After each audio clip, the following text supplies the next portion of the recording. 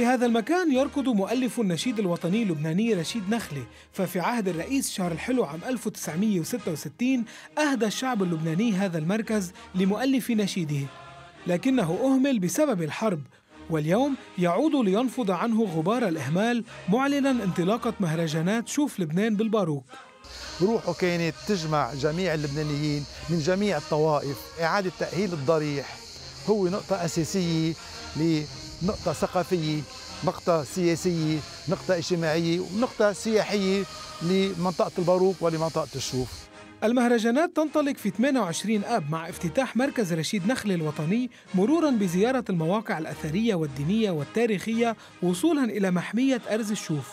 أنشأنا درب درب الباروك الفريديس الوطني يلي هو ينطلق من مركز رشيد نخلة الثقافي الوطني مرورا ببعض الأماكن الأثرية. قسم منهم آه، بيعود للعصر العثماني.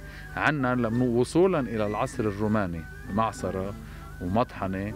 وطبعا عنا السياحة الدينية اللي كمان بنحب نبلش نضوي عليها. منهم آه، مقام سيدنا الشيخ الجليل أبو حسن عارف حلاوي عنا كنائس قديمة جدا تعود إلى مئات السنين. آه، فكمان آه، نحن بتصور آه، عم نبلش نبرز هذا الوجه الحضاري والوجه الثقافي والوطني. نبع الباروك المشهور بمياهه العذبة والمطاعم المحيطة به على موعد مع السياح واللبنانيين لقضاء أجمل الأوقات في ضيافة الطبيعة الخلابة في المنطقة. عنا سهرة فنية طربية مع جوزيف عطية بالليل ذاتها.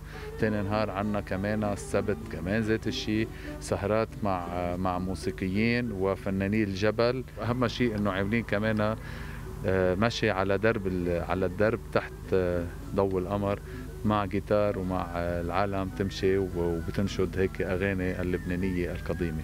بدي أضيف شغلة إنه هذا المشروع وهذا المهرجان مجاني.